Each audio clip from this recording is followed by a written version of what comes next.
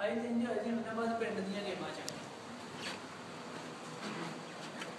ਚਲੋ ਯਾਰ